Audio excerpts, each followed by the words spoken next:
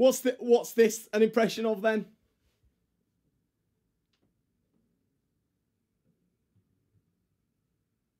The Chester fans at full time when we won. Ah, Chester! And you said our number 10 was rubbish. You were going, you're rubbish. You, it was worse than that. But he went and scored. Ah, duh, you know. Hey, River Park! River Park! Yes!